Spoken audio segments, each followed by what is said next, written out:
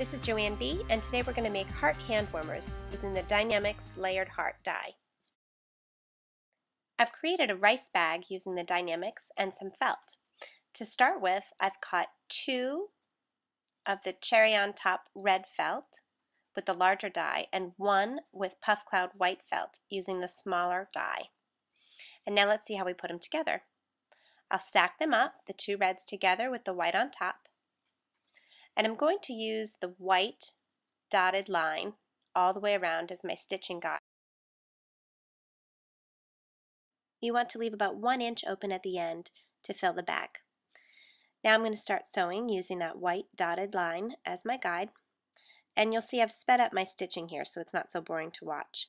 What I'll do is I'll follow right along using that line along my presser foot and I'm going to frequently make adjustments to make sure that the felt isn't bunching. I'll lift up the presser foot, make an adjustment, and then keep sewing. I'm always using my hands to guide and push the felt to follow in a nice smooth line all along the dotted border. And again, I'm going to stop about one inch short of closing it so that I can actually fill up the pocket. Here you can see the small opening that I'm going to use to fill the little heart with rice.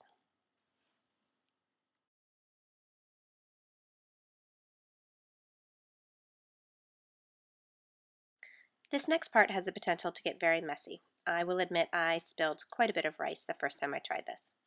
I happen to have a funnel handy at home, so I just used that to funnel the rice down into the pocket and kind of wiggled it around as I needed to to release the rice into the bag.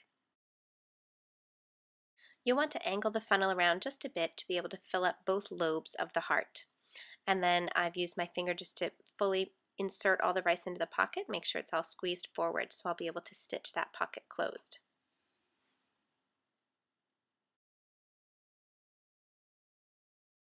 We'll head back to the sewing machine to finish up. I just have to stitch up that last inch. If you don't have a sewing machine, again, you could do this by hand, or if you can't fit the filled uh, little rice bag into your sewing machine, you could also do this last step by hand. I was able to finagle the rice just enough to the side to be able to get it right through just that last little bit.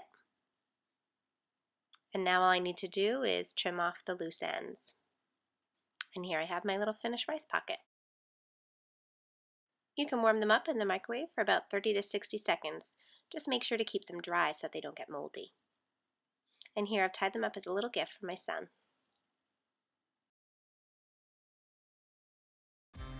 Thanks so much for watching today. All my supplies are from mftstamps.com. Thanks for visiting.